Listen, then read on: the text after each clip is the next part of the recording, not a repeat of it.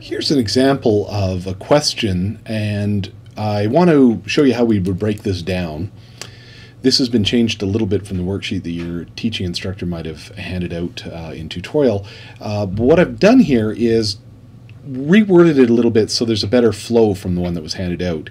If you're viewing this on the page uh, with the all the videos put together, there's a link to the more updated version and with the wording and numbers.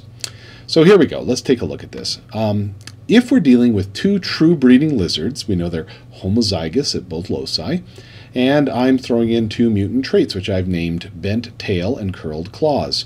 You'll notice if we look in the phenotype table here, I'm not talking about what the wild type looks like, and that's not uncommon for this kind of a question. Uh, where this says wild type, we can assume that it has a tail but it's not bent, and we can assume there are claws, they just don't happen to be curled. Here we have a bent tailed with normal claws, and we have curled claws with a normal tail at this point. Uh, the information I've underlined here, the F1 lizards being all wild type in appearance, tells us that both mutant traits are recessive. Well, let's work this out and see what else we can find out uh, from this information.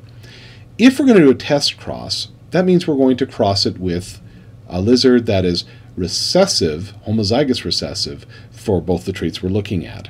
So uh, one thing we would expect from a test cross is that if the genes are unlinked, there'd be a 1 to 1 to 1 to 1 ratio. That's basic Mendelian uh, genetics. And when you look over here, you see that that's totally not the case. We have a higher proportion here and a much lower number here. So that means that the genes are not unlinked, they are linked. Okay, so when we break down this um, problem, we should always put in gene symbols. And so I'm going to name the locus after the recessive condition. So bent tail and normal tail are indicated here. Uh, we're also going to deal with curled claw and normal claw, and I'm putting a plus sign by the wild type traits. Notice that there's a lowercase letter here that tells us that the um, mutant allele is recessive to the wild type. So if we draw the parental situation, and we're going to look at this again in the next screen, uh, we've got BNT-CUR plus in coupling together and BNT-CUR mutants also in coupling. Coupling just means that both the risks, uh, the the mutants are going together, the mutations are going together. Uh, coupling also means the wild types also go together. So the F1 in this case has uh, one chromosome with the wild type traits, one with the mutant traits, and this is the test cross we have here. And when we look up here, we see that the numbers in the corner do reflect no crossover. So if no crossover occurs between these, we're going to get the most common version. The closer together these two genes are to each other, the less likely we'll have a crossover. And so they're fairly close together considering the large number of progeny we're looking at and the very few number of recombinants that we see. We see a lot more parentals than we do the recombinants. So in the test cross, we're going to take one locus from the um, parent who's homozygous recessive, and I'm going to put it up here in purple, but I'll make that go away in a minute. I want to show my convention here. We'll, just for this example, use the wild type chromosome with both the wild type alleles on it, and we're putting it up here. And that would give us a wild type phenotype because uh, bent tail wild type allele is completely dominant to the bent tail mutant recessive allele. So it has a normal tail because of this. It also has normal claws. Uh, even though it's heterozygous for both of those conditions. So we can make that go away and we can see that there's 471 that are heterozygous for both loci.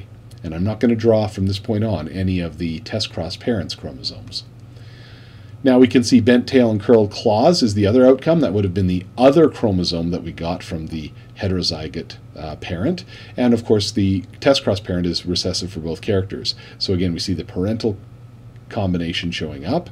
And one recombinant is having a bent tail that we've notified here. But we have normal allele for the claw gene, and likewise we can have a normal tail gene and the curled claw allele giving us the curled claws phenotype. So again, this is coupling when we have the dominance and uh, the, the, wild type dominance and the uh, recessives going together on the same chromosome. And here we can see they are in repulsion, where it looks like this dominant trait is kind of allergic to the other one. It, it, it's, a, it's a recombination of those. This is a convention I'll use as I describe the recombinants. To further carry out this question, to define the map distance, so we're working on the next part of this question, uh, we're going to look at the number of recombinants over the total number of progeny and multiply that 100. It's a, it's a simple ratio. So if I ask you to show your work, definitely write down the formula. Uh, if you add up all these progeny, we have a thousand of them. Uh, turns out that we have 11 plus 14 recombinants out of a thousand total. That's 25 out of a thousand, and that gives us a map distance of 2.5 centimorgans or 2.5 map units, which basically means there's a 2.5% chance of recombination occurring in that region. So here is a genetic map that demonstrates what we're looking at. And I will carry this on in the next uh, example, in the next movie that I post, where we can take a look at what happens when we add another locus to this.